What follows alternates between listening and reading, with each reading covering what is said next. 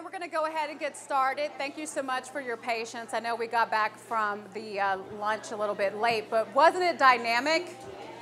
Right? Don't you feel 10 feet tall when you meet someone like Sandra Douglas Morgan who is just making it happen, showing us what is possible, right? That's what this is all about, empowering each other.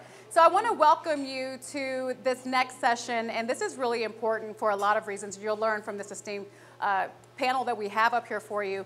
You're going to walk away with some nuggets. I like to think of it as that Sandra kind of gave us an overall blueprint. These women are going to help you kind of hone in on exactly what you should be doing and at what stage. So before we get started, I'm going to go ahead and introduce myself. I am Latoya Silmon and I am an anchor at Channel 3, so thank you. Oh, we got, we got some viewers in the house. All right, I love that. Keep me employed, keep watching. Uh, in fact, you can, you can watch me at 12, 3, and 6 p.m. every single night, Monday through Friday. And um, in my own personal life, as Lynsey knows, uh, one of the esteemed panelists here, um, I'm also very, very passionate about uh, financial health. Um, I was one of those people who um, got into the television business, and for those who don't know, when you first break in, you are making like no money. I love to say that I was robbing Peter to pay Paul every single month, and I got myself in a world of debt. Um, I don't mind saying this because I've written about it and talked about it openly, but at one point, I had 13 credit cards, uh, 13 maxed credit cards. And so um, I was able, uh, through Dave Ramsey and lots and lots of reading, I was able to uh, finally educate myself and break some cycles and maybe not shop so hard, even though um, people tell me that I wear new clothes all the time, but I'm telling you, it's, it's in my budget. It's in my budget now. it's in my budget. But I was able to not only get rid of all of my credit card debt, get rid of my student loan debt that I literally thought, because some of my family members told me, oh, you'll have that for the rest of your life. Don't even count that. Um, not true. Not true. You do not have to have it for the rest of your life. Paid off my car, bought a house. I did all these things that I thought was just out of my reach only because I just did not know. And so when you know better, you do better, right? And so that's right? That is what this is about. So we're investing in ourselves today. We're learning about investment, which I know that that can be very, really scary because it's one thing to say, oh, get a budget, and a budget is not um, a bad thing. A budget is not a, a cuss word. A budget is just basically a plan for where you put your money.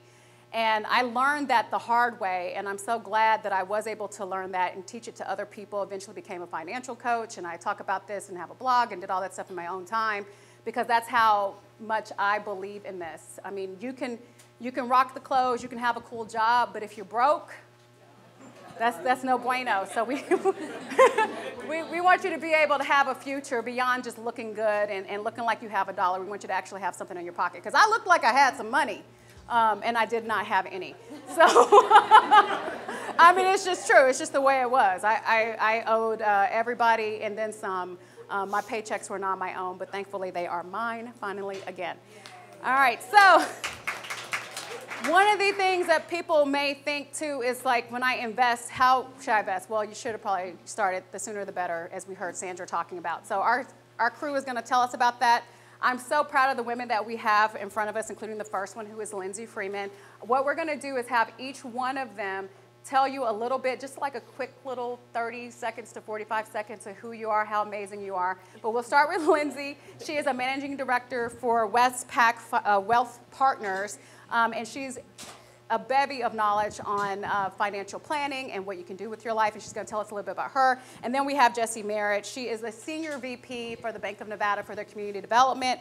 We also have Ana Salazar right there toward the end there. She is a VP of Alliance Leadership, and she also works for U.S. Bank and their Goals Coach Manager. She's going to have some really, I have some really good questions for you, just so you know. And then we have Dr. Kim Nehls at the very end. She is from Lee Biz School. She also is a lecturer at UNLV. She has a, a bevy of information as well. So ladies, um, really quickly before we get to the tough questions, and you all will also be able to ask questions toward the end. So I'm going to be watching our time because I want to make sure that we're um, meeting your needs today. We're going to start with Lynsey. All right. Thank you so much. Latoya and I have had a chance to do some financial coaching together, and I was just telling her what a treat it is to have you as our moderator. So, thank you all for being here. Like Latoya said, my name is Lynsey Freeman. I'm a wealth management advisor at WestPac Wealth Partners. I have been in the advising space for about 10, going on 11 years now. Um, so, it's all I've ever really done career wise. Uh, I was born and raised in Vegas. Do we have any other natives in here? That is so funny because if I asked that question to a room of like this like five years ago, it'd be crickets. So like everyone's staying in Vegas now, which I love. Vegas is such a cool place to be. So born and raised in Vegas, I graduated from Bishop Gorman High School. Yay! Go Gaels! Yay! awesome. Um, and I have a finance degree from UNLV. UNLV! Go Rebels! So I'm particularly really passionate about working with women, and the reason for that is I wholeheartedly believe that we as women are oftentimes missed when it comes to this conversation about money. And I think it's been a generational issue for a very long time. We're very familiar with the, the pay gap between men and women, but there's also this topic about the, the gender wealth gap that's going on. And really, what that comes down to is we as women are investing less than men. And the statistic shows we're good savers. We're tucking money away. We're just not investing it. We're not putting our hard earned savings dollars to work inside of the form of investment. So I think, you know, like Latoya said, the more we know, the better. And I think even for me, more education leads to more confidence. And I think just we as women and even just making the commitment to spend your entire day with us today is a really good first step in getting that education and getting that confidence. So thank you for being here. All right, Ms. Jerrie. I'm Jerrie Merritt. I'm Senior Vice President with Bank of Nevada. As a matter of fact, I've been in banking for over 45 years this year. I am very excited to be here today as a speaker, but I am more excited to see all of you in the room. There may be many of you in the room that might remember, it seemed like a long time ago, but almost 11 years ago when Kate Marshall was our treasurer of the state, yes, and there was a women's money conference. And there was a conference very similar to this one that was actually put on for a full day to actually teach women about money. And of course, 11 years have gone by and many things have changed. But some of the issues that we have around money as women still exist. So I am excited that you all are here today, uh, investing in yourself and actually learning and hopefully will walk away today with little nuggets that you'll be able to take home and invest in your family also. Ana? My name is Ana Salazar. I work for U.S. Bank, and U.S. Bank has started about four and a half years ago a program called uh, Goals Coaching. So since its inception, I've been working uh, as managing a manager for the for the program. I've been in the financial industry for about 31 years, and the last 15 with U.S. Bank. And I love the fact that banks are finally understanding how important it is to not just provide the financial education and the coaching, but to also make the services free and available to everyone. Because um, we know that sometimes if you're up there, you can have people advise you, but for everybody else who's working their way up there, it's very hard to find people that will give you the right advice um, and that can be there with you. I'm also a an ICF um, accredited coach in financial wellness and positive psychology, and I'm also a certified uh, coach for uh, leadership and life. So super excited to be here today and to have this opportunity. Thank you. Hi, everyone. I'm Kim Nehls. I'm so excited to be here as well. And I have the great pleasure of serving as an assistant dean of external relations for the Lee Business School at UNLV. Go fight win! I also get to teach classes in international business for the business school. I have students in this very room right now, and I love you all. I'm so excited to be here. Former students as well. Hi, Liz and others. I am just so excited every day to pour into the next generation, men, women, all students, that we can build a great Las Vegas economy because we need a great university, a great education to have a great city. And that's what I love to do every single day. One of the things and one of the initiatives I really want to give a shout out to that we're doing right now is we just created two new finance classes at UNLV, Fin 111 and 112, that are all about financial literacy. These are options for students not just in the business school, but across campus. They can take it to meet one of their gen ed requirements. So, you know how you have to take all your core curriculum? You now can take those core classes in financial literacy. So, we are truly trying to make a difference every day, not just in the business school, but across campus and in the community. Thanks, and go Rebels! Lots and lots of Rebel fans in here. And I love what you said about the fact that you guys are teaching financial literacy because it's one thing to know how to, you know, well, not balance a checkbook anymore. I'm telling my age, but how to balance your account. But it's another thing about, okay, what should I be doing with my money? And I'm going to go a little bit off book because I was going to start with Lynsey, but I want to talk to you, uh, Dr. Nehls, really quickly. Why do you think it's so important for kids to walk out of school with that type of knowledge, not just the stuff that's going to help them get a degree and go on and you know have a job in their field, but to actually know how to manage their money? Right, and I would say so. I have three teenagers, so I'm the least cool person on the planet, and I'm reminded of that every single day and called a boomer. Uh, but they they don't learn that type of street smarts in the in the their classes every day at CCSD or wherever they happen to be. And I feel like it is essential for our students to come out with the knowledge and understanding of how to better themselves, how to make sure that they are investing in their own futures so that they know that they need to pay themselves first, pay down their debts, take care of their own business, then give to others, make sure that they are doing the things every day to not only build themselves, but build their generational wealth for the future. And so I think it's essential that we teach these skills. And it, it could be balancing a checkbook, but it could also be creating a household budget. It could be creating a plan for, I want to go on vacation. How do I make that happen to make sure that I have the spending money to, to do that? Or I want to buy a TV, or I want to uh, invest in a mortgage or a car. And what does that mean? Even student loans are really essential when students are taking on so much debt to go to school these days. We do have the lowest tuition in the country, but I digress. uh, that you can, you know, know how to make sure that you're making wise investments in yourself for the future and your own well-being. Yeah, and, and I love that you said that. But even when you do sometimes know um, the what, you may not know the how. Um, and so that is when you might turn to someone like Lynsey and say, okay, how, how can I map out my financial future? And one of the things that I think Dr. Nehls just said is that a lot of times we know, okay, I should save my money, but we're not necessarily investing our money. So when should we come to someone like you, Lynsey, and uh, say, okay, I need to invest? Number one, why is it important? And how should we go about it? Yeah, absolutely. And before I dive into that, just to touch on your point too, I think that's really awesome. As I mentioned, I have a finance degree from UNLV, and I tell people all the time, like, and I kind of grew up around this stuff. My dad was a CPA, and I tell people I didn't come out of college knowing how to invest money or save for retirement or pay my taxes or open up a business.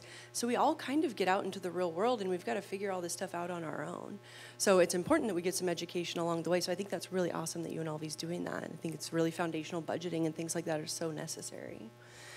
So yeah, back to your question. With so we have saving and we have investing, and I think that there are some boxes that we absolutely need to check before we have a permission slip to put our money in investment vehicles. So if we've kind of un- unpacked that, what is saving and what is investing? So saving, obviously, putting cash in a savings account. This is typically for the short term, so it's what I would call an emergency fund.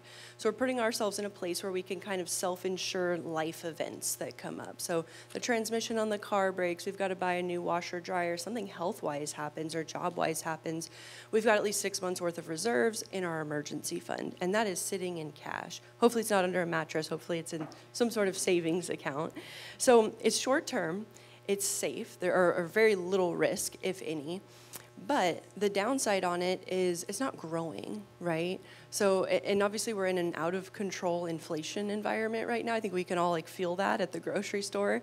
So if we have money sitting there getting like 0.001% rate of return over a very long period of time, we're not even keeping up with the purchasing power of the dollar. So that's the downside on savings, and that's why I say have six months worth of reserves in a savings account any, anything above and beyond that could potentially be missed opportunity because we can't necessarily save our way to wealth. We have to invest. It's investing money that gives us a lot of power and a lot of control along the way. So if we unpack what is invest, investing, putting money in places where your hard-earned dollars are going to grow.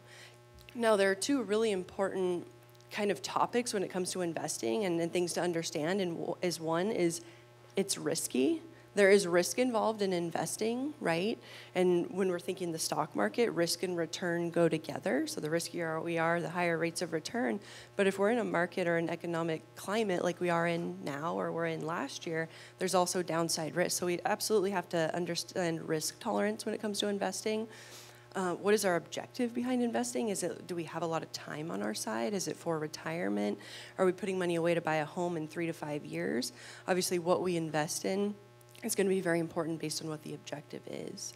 So our goal with investing is we want to keep a long-term outlook, but we're getting growth on our money. So at least we can outpace inflation. So again, both are necessary, saving and investing. Obviously, the short-term savings, we've got to protect ourselves from emergencies, but investing is the way we increase our net worth and eventually reach our wealth goals along the way. Yeah, so you're making sure you stay away from those credit cards. that will ultimately do you in. That's why you want that emergency service. Because guess what? Emergencies will happen, right? And just so you know, Christmas is not one of them. I tell people all the time, you knew Christmas was coming. That is not an emergency. So you need to plan separately for that. Jerrie, let's go ahead and talk about some of the common types of investments that people could potentially look into. So, as I was just listening to her presentation just now, she started off by saying savings is not investing. And I totally agree. But for many of us, the way to start to investing is by savings. So I would say the most common way to start investing your money is by actually having a savings account. There are many of us today that have a checking account because that's operational, that is where we put our money, but we do not save. So a regular savings account, whereas in last year did not have a great interest rate, have a better interest rate this year. So also, once you save some money in that account, you may want to then move on to a money market account because a money market account gives you just a little bit more interest, but it is still safe within a financial institution. And let me say this as long as it's $250,000, you're insured. And I know we're going through a lot of trauma, you know, right now as far as banks are concerned. But your savings account, your money market account, and then also there is your certificate of deposit. The interest rate on certificates of deposits also have increased this year because of what's actually going on in our economy. So if you're actually wanting to invest within your financial institution, start with your savings account then to your money market, and then to your certificate of deposit. And of course, the other most common um, investments are your stocks and bonds, but I'm going to leave that up to ladies that understand it well. Yeah, and we have some questions about that too for uh, Lynsey. Ana, I see you want to jump in, and I do have another question to follow up uh, once you finish saying what you wanted to say. Okay. Yeah, thank you. Mm-hmm. Ana was chomping at the bit. Wait a minute. Um, so what I was thinking about is, where do we start though, right? We got to start by building our habits. So part of budgeting, part of savings, and even investing is about making sure that we have the correct habits in place. And a lot of us need help establishing those habits or breaking bad habits of maybe spending or um, using all the money that's in our checking account, right? So, part of what um, Kim had said earlier was pay yourself first. That begins, that's one of the earliest habits that we can begin building by putting money aside. Another thing that we need to look at a lot too is when we have a lot of decisions and a lot of options, we become paralyzed, right? So we get decision paralysis. What am I going to do? What am I going to pick? What's the best way to go? Break it down into little steps. So set a goal. Start with that goal, whether it's a savings or whether it's putting $1,000 in an investment account. Whatever your goal is, break it down into little pieces and work every day towards making those happen, towards building those habits, because those are the habits that are going to help you when that investment is set up for you not to want to go touch it and then pay penalties. That's what's going to help you later on be able to continue to grow your financial wellness in a very sound way. Thank you. And Ana, when you're doing that, helping people realize that they have to have the goals and the plan in place, how important is mindset before you even start to work that goal? It's huge. Um, we know as females, we know um, as minorities, we know um, just from different cultural backgrounds, we carry all these biases with us, right? And it's hard. So you got to break through those biases. You got to make sure that your mindset is a mindset of I can, and I am going to get there. It may take me a little bit longer. I may have to make sure that every step that I take is a solid sta- uh, step that's going to get me there. But you got to know that you can do this, and you will, because then you'll find a way. You'll aid yourself with people that are positive, people that can help you, that can give you advice. You will be able to seek out companies, people that will be able to be there next to you. And a lot of times, part of coaching, what we do is just being that accountability partner. Hey, did you really do what you say you were going to do? Did you set that money aside? Not this week? All right, let's work on it next week. What can we change? What happened last week that we can change this week to help you get there? So you got to really make sure that you're paying attention, that you're intentional uh, with what you're doing every day. And also, that. that mindset is very individual. Uh, many of you may remember that um, I quite often teach a class on emotional spending. So, when it actually comes to money, in order for you to be able to save it or invest it, you have to remember not to spend it. So, spending is that mindset of let me stop spending it here or spending it there so that I will be able to save it or invest it. For many of us as women, um, emotions run very strong. Whether we have money or not, we have a tendency to try to cure our emotional feelings with spending. And I and as I heard you say a few minutes ago, 13 credit cards. I am willing. Yeah, I'm willing to bet if you look back and think about it, the reasons why you had them and what you purchased was around the mindset or around the emotional part of what was going on with you at that time. So I totally agree when it comes to our finances, you have to have the right mindset to get started. Yeah, Lynsey, what did you want to add? I totally agree. I think mindset is everything, and really what that comes down to is your rela- individual relationship with money. And just to add to that, I think the, the advice that comes from the financial media is very different for women than it is for men. So the, the advice that's geared towards men is more of the real and the fun stuff, like make your money grow, invest, buy real estate, you know, purchase properties, build wealth. And then the advice that's geared towards women, unfortunately, is things like stop spending money and don't get that latte on the way to work and you need to budget. And so I think we're conditioned to kind of have this negative connotation around money, right? So I just think we, we need to figure out what our relationship is with money and move that in the positive direction. I think that that's absolutely mindset. And I'm so glad that you mentioned that because um, that was going to go right into my next question to you because I think a lot of times we do think, and I thought this too, like I have to, you know, y'all, at one point I was literally eating off of $50 a week.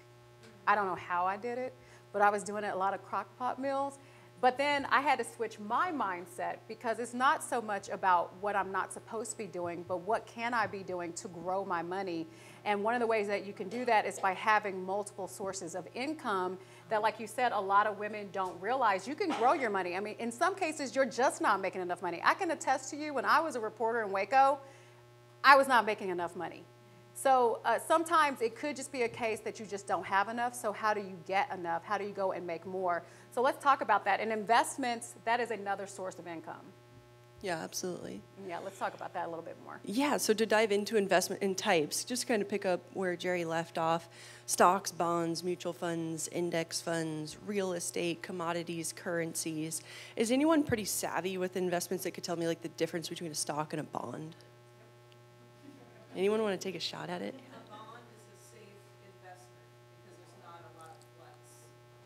Yep. Yep, you're exactly right. So when you think stock, think ownership.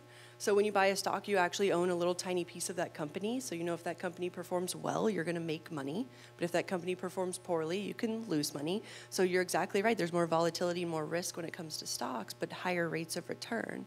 And then bonds is kind of the opposite. So when I say bond, I want you to actually think of debt. So when we buy a bond, what we're actually doing is we're loaning a company money. And what that company does in return is gives us back what's called a promissory note. And that note says in X amount of years, we're going to return your money back to you and give you a little bit of interest on top of that. So when we buy a bond, we're kind of like acting like the bank in that scenario by loaning money out and collecting interest on it later. So because of that promissory note, bonds tend to be a heck of a lot safer. So whenever I see someone with a lot of bond exposure in their portfolio, it usually means we're getting really close to retirement or we're in retirement. We're in a phase of life where we have to preserve wealth. And then in addition to that, I think the most efficient way to invest is by diversifying in index funds and mutual funds.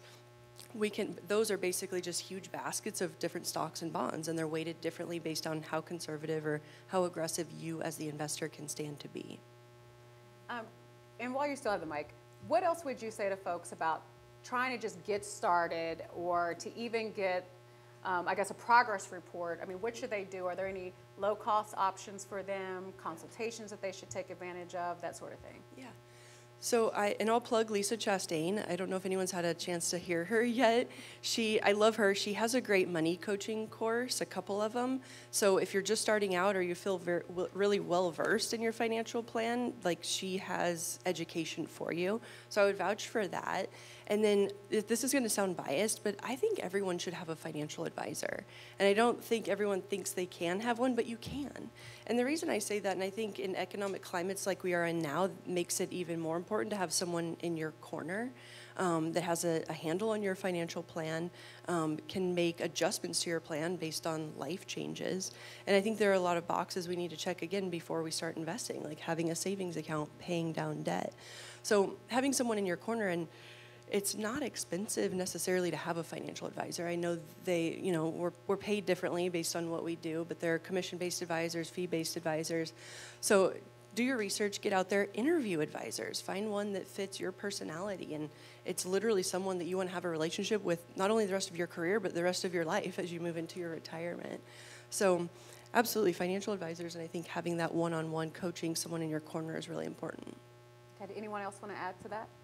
Yeah, I would say if you are scared, which most women are much more conservative inv- investors than men, it's just known widely that women are more conservative investors. If you're scared or if you just don't know where to start, you can take out a very small CD, certificate of deposit, and it is a guaranteed rate of return you can look online. You don't have to even talk to anybody and say, hey, I have $100 or $1,000 or you know, whatever small amount you want to start with. And some of the rates right now are 5%, 4.5% rate of return on a CD. These are some of the highest rates that we've seen, and we're hearing that interest rates may go up again this week.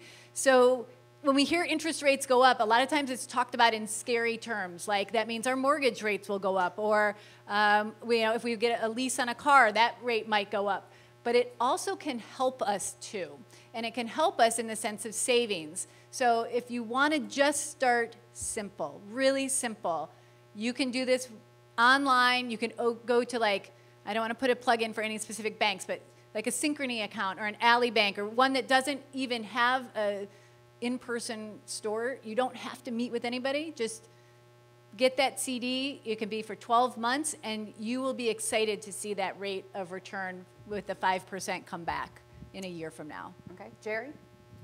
Yes, the Fed did raise the interest rate today. Oh, today? Okay. uh, about an hour ago. Uh, and yes, that would mean different things to us as far as our mortgages and our cars. But back to the conversation that we're a quarter Yes, a quarter, yes. So, but back to the conversation that we're having today, it can actually be positive because now the interest rate that you're getting on your savings will go up. And that CD that she was talking about just a few minutes ago, you can walk into your local bank where you actually have your checking account and now open up a CD where you can get a halfway decent uh, rate on it. So sometimes we see interest rate being raised as negative, but when it actually comes to investing or savings, we are at a point now where it can be an opportunity. Okay, while you have the mic, um, you've been in the business, you said 45 years. Uh, what have you noticed? Um, how was the business maybe, you know, five, 10 years ago when it came to investment versus what you're seeing now in this current climate, especially since people tend to be more fear-based because they're worried about a possible recession. They're hearing, you know, unfortunately, we're talking about those things because we got to keep you guys informed in the news. Yeah. But what are you seeing differently as far as the climate of how investors are feeling or how people are feeling about their money and where they should put it versus just five, ten years ago? Well, I say in the financial service industry, it has always been a roller coaster regardless of what age you're in. Many of you in the room will remember uh, 2008. And you're you might be having the feeling of 2008 right now, but I am here to tell you that it may feel like 2008, but it is definitely different. So the financial service industry, our investing, uh, our money in general, uh, is kind of a roller coaster. So you you got to know when to hold them and you got to know when to fold them. Actually, when it comes, you know, to money in general. And what I mean by that is you need to stay informed because our financial service industry is always changing. Uh, what we do in our investing is always changing. And like she said just a few minutes ago, investing in stocks could be risky. I have made some money with stocks when they're up. But we can't predict when what, a, what our economy is going to do or what the industry may be doing at that time. So I would say the change in the industry is something that you individually should always stay informed about because over the last five to 10 years, we've actually been on a roller coaster. We may be up for two to three years, but when you wake up on a Friday afternoon or Friday morning and find out that a bank has failed, it feels different. Yeah, and one thing that's important too for folks to realize is that, um, you know, compound interest is a real thing. It's a beautiful thing, and so you want to start the sooner the better. And so um, I want to ask you, Ana, before we talk to the other panelists about how do you convey that to folks when we talk about goals? Because a lot of times people think, oh, I have to wait until this, or I'm going to give me six more months, give me another year, and before you know it, time has flown by and you've lost the beauty of compound interest in your 20s or your 30s, and now maybe you're in your latter 30s or 40s or maybe even 50s, and you're like, okay, I got to get started. What do you tell them about, hey, let's do this now as opposed to putting it off for any other day? I think um, being prepared is very important. We've been talking about it. Preparing for retirement in particular is very important. And the best way to do it is through having your, your investments and starting now. A little bit, a lot, it doesn't matter. Um, it starts building those habits, it starts building up the money. Now, there's different investment strategies, whether you're in your 20s, 30s, 40s, even 50s, um, and the experts can talk about that. But you need to put yourself first, and the time is now. So, when we talk about goals, um, everybody's heard about SMART goals, right? And the T is time bound. Any goal that you're serious about reaching, it's got to have some sort of timeline for you. And this is no different and you start now. Okay, Lynsey, I, I think I can feel you want to say something. Okay, just like, no, I'm good. Okay, what about you, Dr. Nehls, when you're talking to these students, any red flags that you tell them they should look out for, anything? Because it's one thing to say, okay, get out there and go, but, but there are some shysters out there that might try to get your hard-earned dollar. Sure. So I, I think that's why it's so important to do your homework, whether it's talking to a financial advisor, doing your own homework on the internet, taking classes. You can, of course, take them through UNLV, but you can also take them through, you know, just taking courses online through Coursera or edX or other great resources. I mean, there is no shortage of opportunity today with YouTube and all the great free learning opportunities that are out there. Definitely tap into your library. Can't say enough great things about our library district here in town.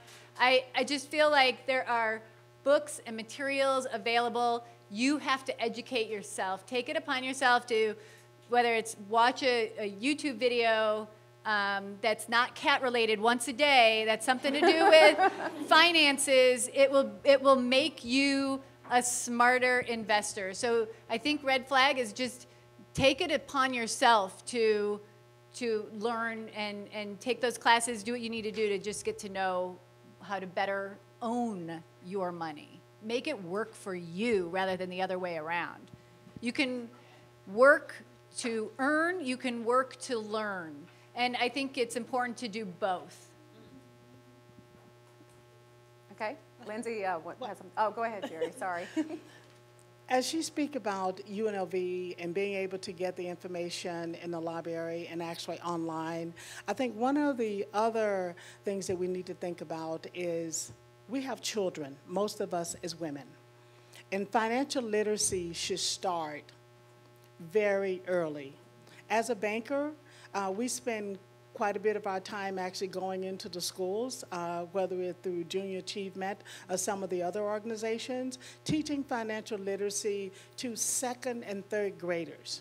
You know, and at first it was like, what do they know about money? But if you start teaching them at a very early age, then they will actually know how to manage their money by the time they get to be a teenager, by the time they get to be, be in college. And someday when they're in a room like this, they will be very aware of what money is, how to use it, how to save it, and invest it. So sometimes as parents, we don't spend quite enough time with financial literacy and our young people but we can actually help the generation coming up behind us by teaching them up front so they can learn quickly. So switching gears back to your point about shysters, I, I think that's a really important thing to address. I think that's a major area where the finance industry fails people like yourselves is unfortunately there are bad financial advisors out there and bad financial companies. We hear these things in the media, the Bernie Madoff scandal, Ponzi schemes that are going on. What went on last year with FTX, it was like a huge cryptocurrency Ponzi scheme with ultra high net worth people that we think are really smart and like how did this happen to them? So it's out there and I think it's really important to address and I wholeheartedly think that really the number one reason you should work with a financial advisor is because you can trust that person. You may not understand every intricacy of asset allocation inside of your portfolio, but if you can trust that person, at least you're starting off on the right foot. So again, do, I mean, you can look up financial advisors. Like you can Google me and find out my licenses. Um, you could find out if a financial advisor has ever been sued or had disclosures or been in tr- any trouble. So do your research. Make sure you're working with the right person. Okay. Um, anything, Lynsey, before we open it up to questions, just like really quickly, um, if you're like, okay, I'm ready to invest, or I don't know if I've invested enough, what's the first thing you should do when you leave today? So I have five steps that I want, like boxes that you should check before you were thinking to take that step to investing. So that first one is organization. So making sure we have a handle on the budget. So budgeting where's money going, how much is coming in versus what's going out. The second thing is protection. Do we have proper insurances? Are we going to have a life event come in that wipes out all of this money that we're trying to build? So protection insurances, legal documents like estate planning. The next one is having your emergency fund, so saving, making sure we're capturing enough of your income, and we do have an emergency fund. The next thing is obviously paying down debt, getting bad debt off your balance sheet.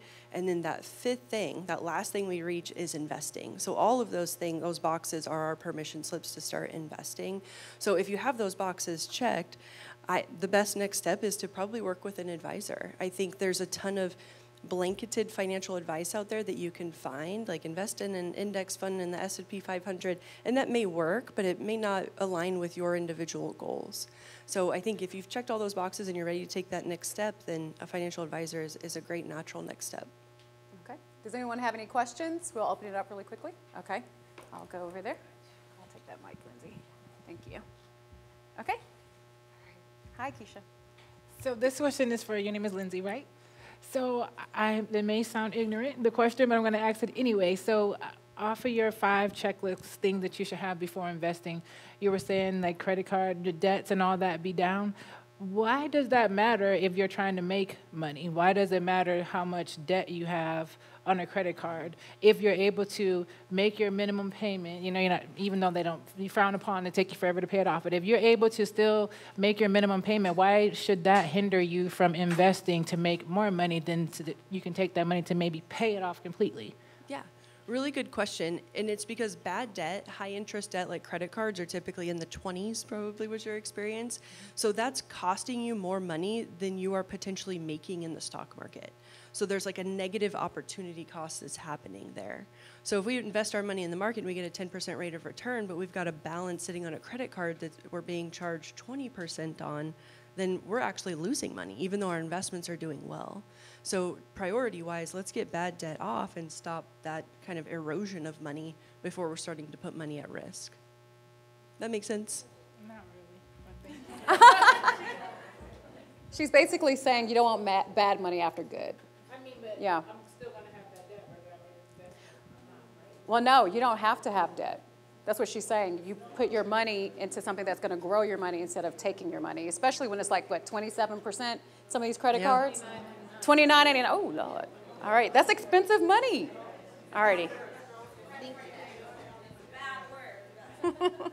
My question is for Ms. Jerrie. Um, one of the statements you made was very, um, very prominent. It said, "Stay informed."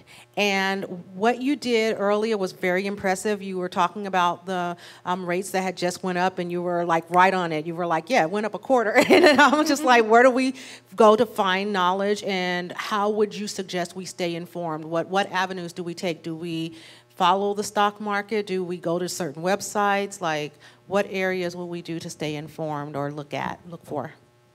Well, um, with everything going on in the financial service industry right now, it's not hard to stay informed. You know, so just pay attention to as many financial articles as you can actually find. You can actually go on the internet and just Google the question you may have. You know, so uh, staying informed not only mean reading, uh, consulting your financial planners or just getting information in general.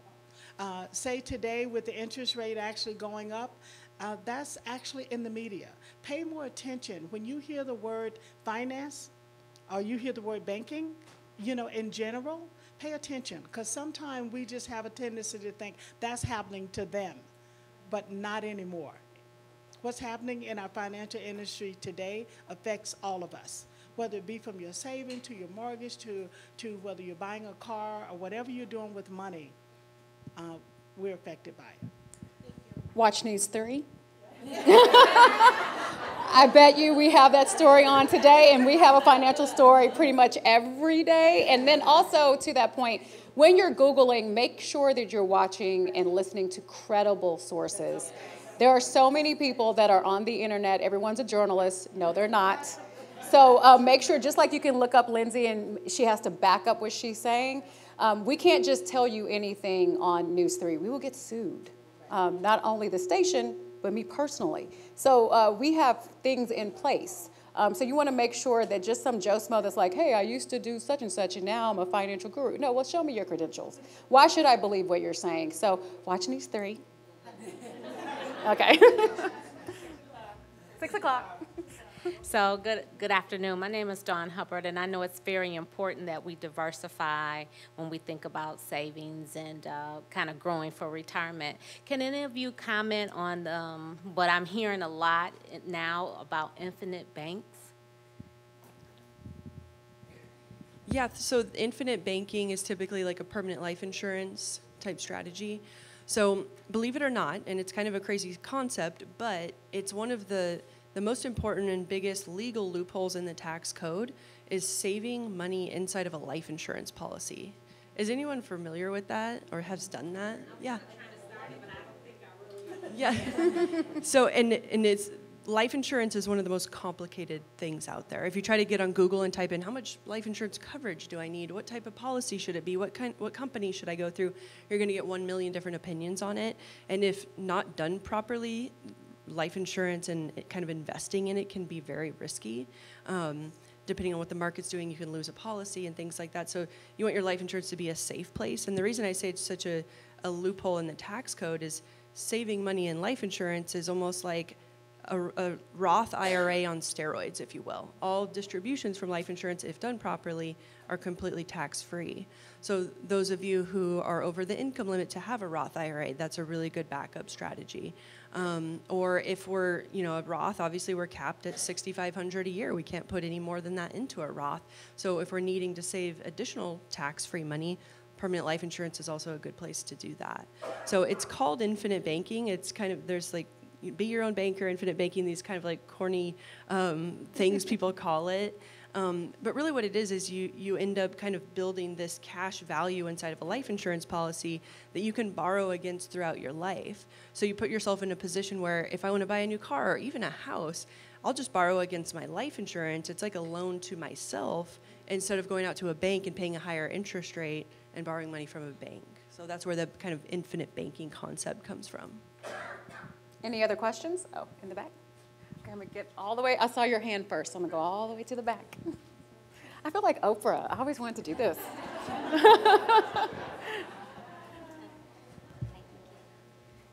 Thank you. Um, so after you get yourself to the point where you've already set aside a savings reserve, six months reserve, you've gotten your credit card debt in a good place, and you're able to make that initial investment, what does that minimum amount look like? And if it, and if you say it's under 5,000, what are the smaller vehicles you could start with if you're a new investor just trying to get into the market?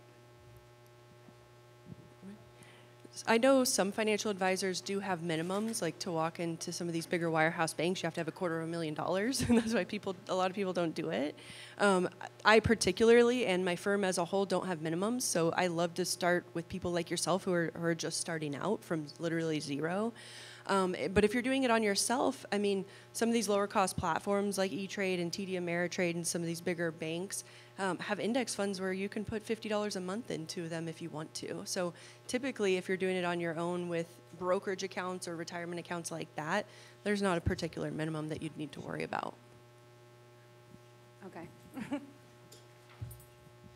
Hi, thank you. My name is Rondalyn McClintock, Ronnie, and my question is around um, where you get information. Are there any specific like podcasts or things that you can recommend for uh, folks like me who want to consume this information in bite-sized chunk, chunks, but that's accurate.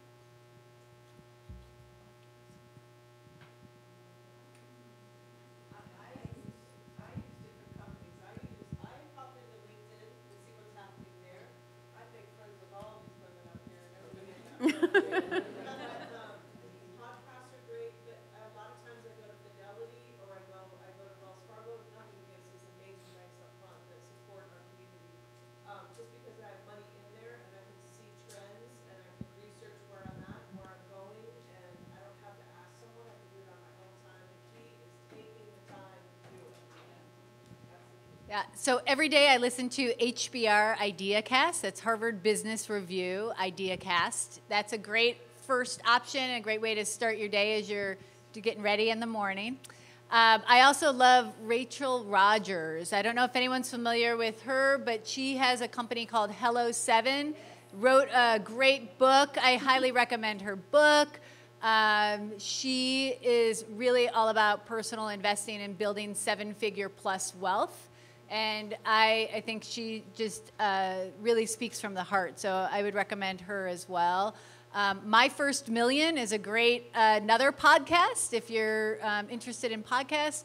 But I, I think there's a lot of wonderful podcasts that are out there to listen to, whether finance related or not. I mean, you know, I'm always one that loves a great true crime podcast too, so I can recommend those as well. But uh, I know that's a different uh, panel I'll be on later talking about murder mysteries. Okay. Hi, ladies. And U.S. Oh. Bank also has a pod. Sorry. sorry. Go, go ahead. Go U.S. ahead, Bank also has a podcast. It's called the Really Good Podcast, and it's on financial topics. Not always is it investing, but um, it will keep you up to date on, on different topics. Really Good Podcast. That's the name. That's the name. Okay, we have a question back here, and then I'll make my way up. Okay, good afternoon, ladies. Um, I'm a little embarrassed to answer ask this question, and also being a little bit vulnerable um, with regard to money, because I was not raised with the proper money mindset, and so at this big old age that I am now, I'm just now trying to learn and teach myself, and you know, research and different things like that. And so my goal had been to pay down my credit card debt so that I could use my credit cards as my emergency fund. Is that the wrong mindset? I see Miss Jerrie shaking her head already.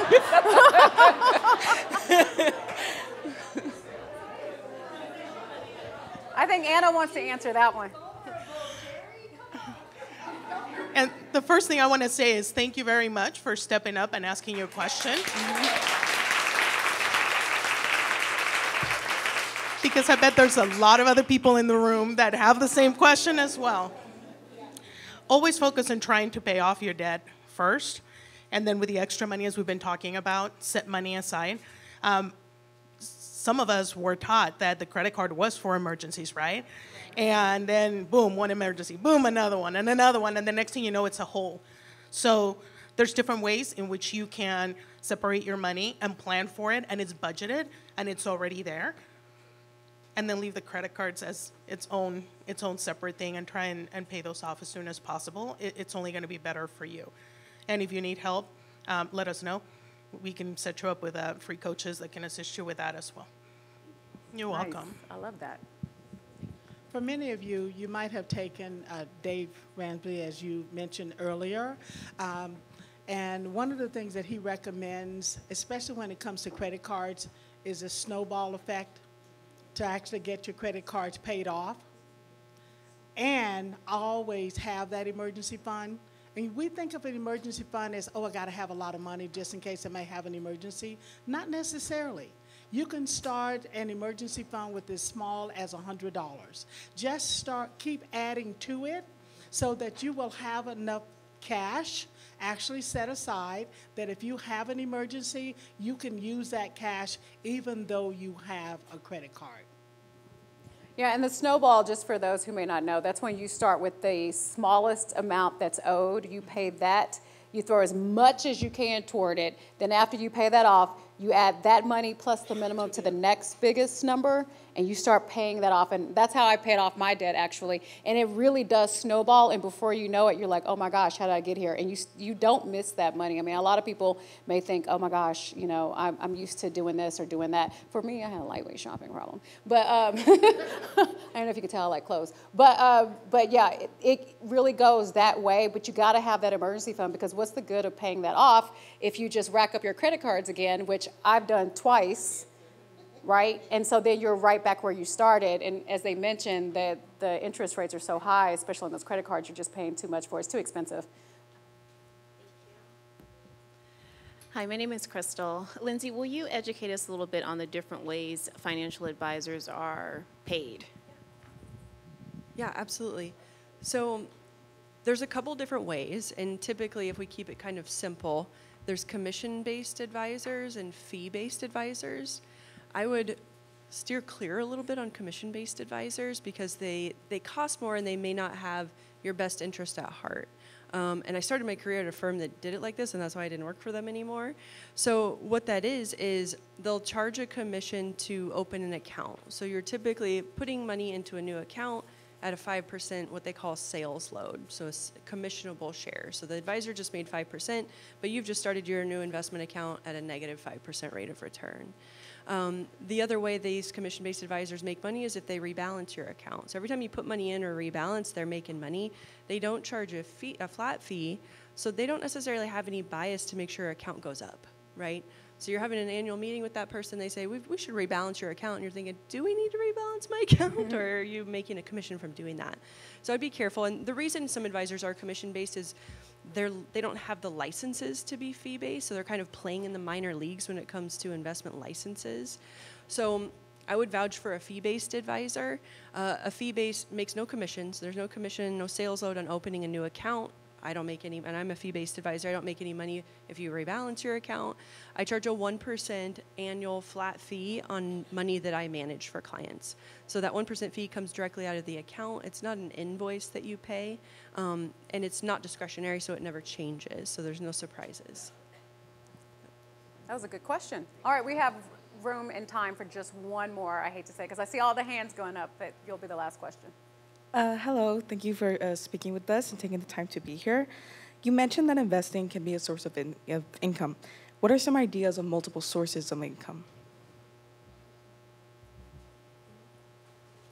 Yeah, so creating residual income. And I think what we have to keep in mind here is creating residual income, it doesn't happen overnight. It's not like a get rich quick type thing. I think probably the quickest way we could do that is purchase real estate and put renters in them and start creating residual income that way, or short term rentals like Airbnb. There's even Turo, buying cars and putting them on Turo and renting that out and get profitable that way. And then I think even a longer term gig is the stock market. So if we invest for long periods of time, um, we can eventually produce residual income. It's just not a short-term outlook when it comes to the stock market. And I think I think that's why a lot of people kind of struggle with understanding the stock market is because it's like literally backwards from our rational thinking as human beings because the the way it works is it, it's really, really difficult to predict on a short term basis, but it's actually very easy to predict on a long term basis. As human beings, that's kind of the other way around for us, right? It's easy to predict the short term, not so much the long term. So we have to be careful with short term. And when I say long term outlook, it's typically 10 years. If you can stay disciplined and stick to an investment philosophy for about 10 years at a time, you're going to be able to create a lot of predictability around the outcome and the rates of return. So things like that real estate, stocks, bonds, commodities, but keep a long term outlook. Anything else anyone wants to add before we go? I love you all. Aw, I love that. Let's give them a round of applause. Some great information. I hope you all learned something today, and I hope you'll take it and apply it because that's the most important is to apply the knowledge that you've learned and keep it up. Thank you so much for joining us. We appreciate it.